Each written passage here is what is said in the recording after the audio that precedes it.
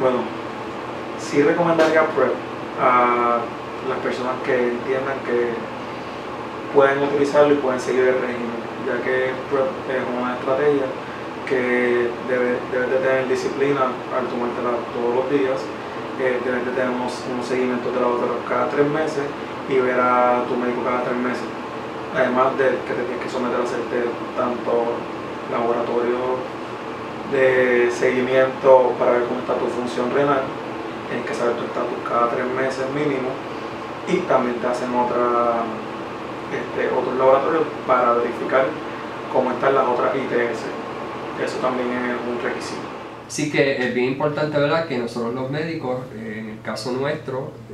recomendemos Truvada todo el tiempo, una utilización de una tableta una vez al día y de esa manera eh, se puede evitar eh, el, desarrollar una infección, adquirir una infección con VIH, siempre y cuando este trubada tiene que ir ligado bien de la mano, bien estrechamente cogido de la mano a cualquiera de las barreras existentes eh, que tenemos disponibles, como lo son los condones, entre otras. Así que Trubada no funciona solo, Trubada funciona cuando utilizamos barreras de protección, sexo seguro en todo, en cualquiera relación sexual que eh,